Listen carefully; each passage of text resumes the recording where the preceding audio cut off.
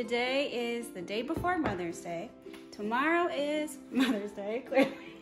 Tomorrow is Mother's Day, and I actually work, so we decided we're doing Mother's Day today.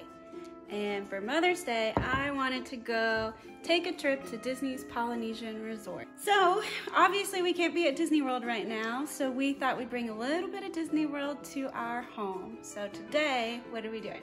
We're gonna make some tonga toast. We had Tonga toast last year when we went to Disney World, and I absolutely loved it. So that's what we're gonna make here today for you guys. Yeah, so Disney just released the uh, recipe, so we're gonna try to follow it as closely as we can. It looks pretty easy. Uh, we got all the ingredients, uh, and we're really hungry, so let's go ahead and get this going. We went ahead and poured ourselves some mimosas, as you can probably tell, and uh, I've almost finished mine, so I'll probably need a refill here before we uh, get going. Okay. Ingredients you'll need. For the sugar cinnamon coating, you'll need 3 fourths a cup of granulated sugar and 2 teaspoons of cinnamon. For the batter, you'll need 4 large eggs, 1 and 1 third cup whole milk, 1 quarter teaspoon cinnamon, 1 tablespoon of granulated sugar. For the Tonga toast itself, you'll need 1 quart of canola oil for frying, 1 loaf of sourdough bread, uncut, and 2 large bananas. You want to make sure to cut each banana in half crosswise, then each piece of that lengthwise. Okay, so let's go ahead and get the oil ready so we can fry our tonga toast. Unlike normal French toast, you're not just like grilling it, you're actually frying it. So it's interesting. Um, seems pretty easy though from what I've seen. So we need four cups, uh, sorry, we need one quart, which is four cups of uh, canola oil, which is what this is. So let's go ahead and measure that out. Throw it in our cast iron. That's one, two, three, and match number four. All right. Now it says to get the temperature of the oil to 350 degrees. So we have this uh, meat thermometer, which I think should work just fine for us getting to 350. We'll just try that and see how it goes. So first up, let's mix the cinnamon and the sugar so we can get the cinnamon sugar concoction ready to go. so we can dip that tonga toast when it's ready. Let's do it. Got a bowl, and we take the cinnamon and sugar. Bam, cinnamon. And the 3 fourths cup of granulated sugar. Throw it in there. And I got a tiny whisk like Binging with Babish somewhere in here. I'll just whisk that bad boy. Ooh, it smells good. Okay, got that bad boy mixed up. Now, let's go ahead and get the egg batter ready to go. Okay, so next step, we're gonna whip the eggs in a medium bowl, large enough to dip the toast. That's important. Until well beaten, and then we'll add the milk, cinnamon, and sugar. Mix well and set aside. Let's do it. Hopefully we don't get any shells. All right, let's beat these eggs here.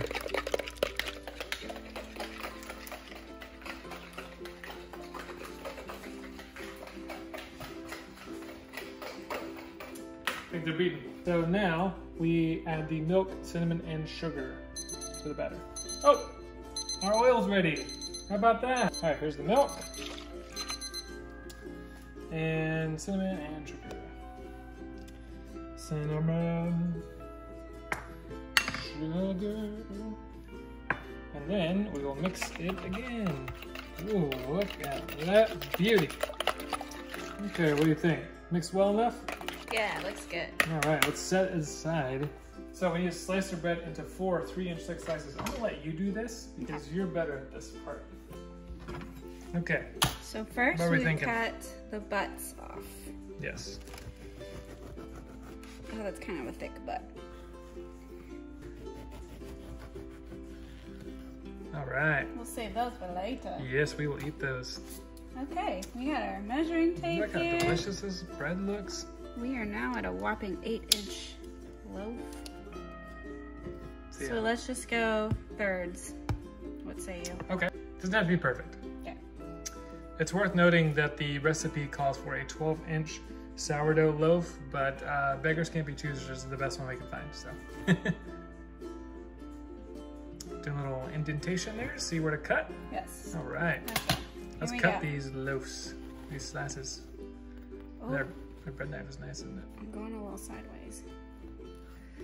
Maybe kind of saw it. It's done. Ooh, look at that.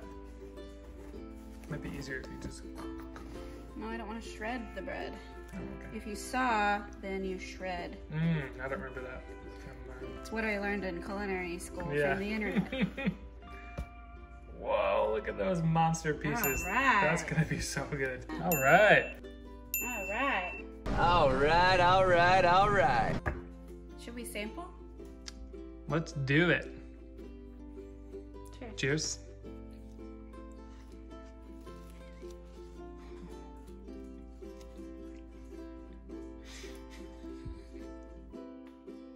That's really good. Mhm. That's really good. Yeah. You might be able to see that our oil got a little too hot. It says not to do anything over 350 or it might burn, so we're gonna cool back down. Okay, next step. You come in through the bottom of the bread and cut a slit that will come up to about right here, and that's where our bananas will stuff into. Yeah.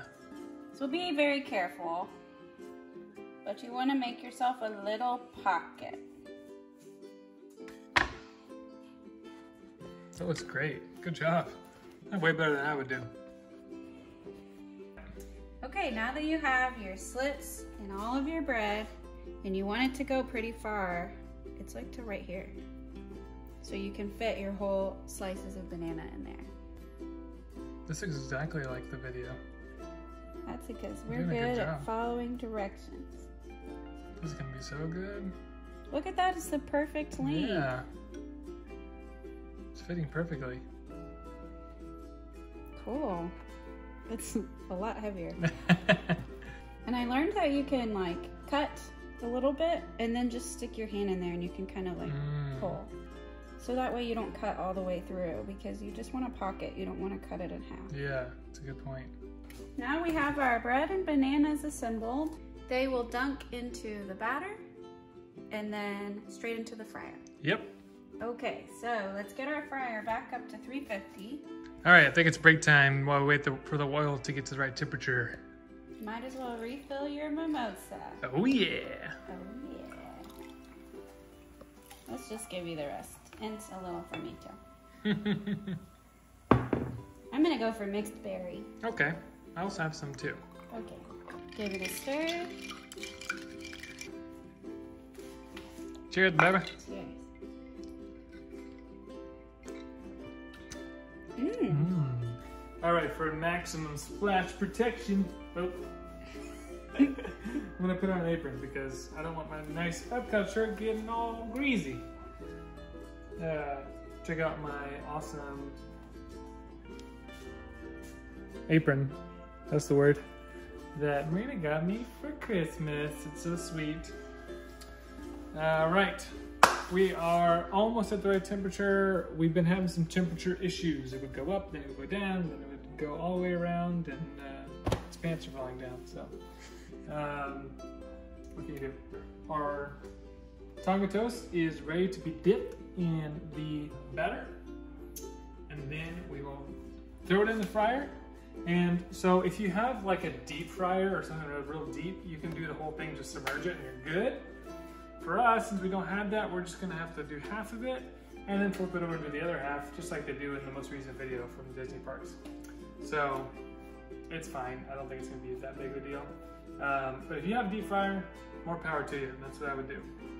Okay, 345, five degrees away.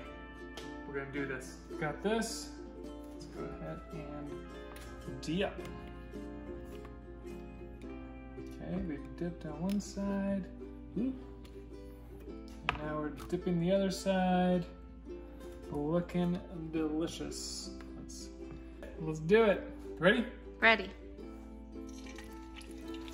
Oh, Set a timer for two minutes. Two minutes, counting down. Let's get the cinnamon ready to go.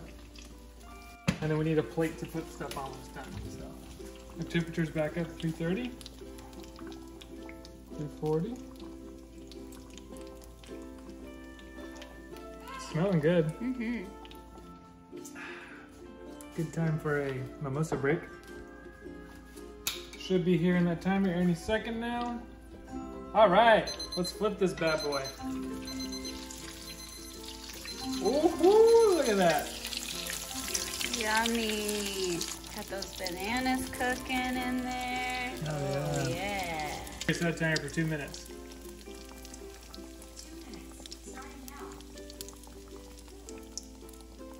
Two minutes is starting now. Hi, baby. What are you doing? You sitting in your swing? Someone doesn't want to take a nap. Mm-hmm. So once this is done, we're gonna immediately throw it into the cinnamon. I just thought of an idea though, because you want it to be nice and like moist so it can absorb the cinnamon, like really stick to it. So I'm thinking of maybe flipping it one more time just for a second, just to get this nice and wet, and right into the cinnamon. Here we go. Oh, look at that. Oh, yeah. That- Get the sides, too. Okay. It looks amazing. Right into the plate. Okay, next one. Repeat. Now our Tonga toast is complete. Yep. And we have a baby that does not want to take a nap. No. She just does not want to go to sleep. She says, I don't like sleeping. I just want to be awake and hang out with you guys. Okay. Okay. Let's put some butter on our Tonga toast. Okay. We don't have a melon ball or anything, so we're going to use an ice cream scoop. Don't judge. That's a lot of butter.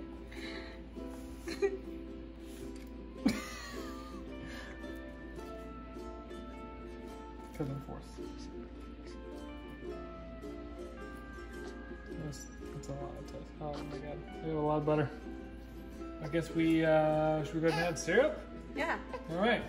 Alright, so for mine, I'm gonna go a little light on the syrup. So let's go ahead and do that. Just a little syrup, because I do not need it to be doused. Tell me how much syrup you want. I want all the syrup. the whole bottle. Just keep going.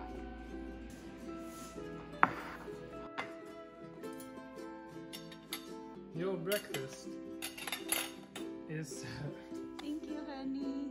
Happy Mother's Day. Thank you so much. Mhm. Thank you, Daddy. All right, let's get a shot of that cross section. Let's do it.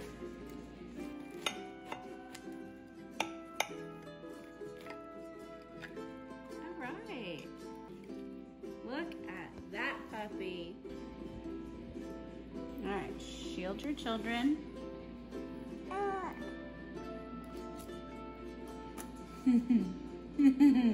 Is it good? mm-hmm. All right. I think it's better.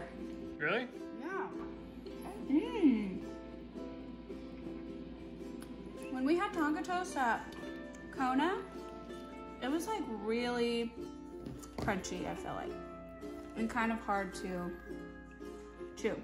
Mm. This is Much more soft. soft. It is so good. Oh my gosh. Okay. Let's get a little cross section look at that beauty. Oh yeah. All right, let's give me a big bite, but I'm a big boy, so.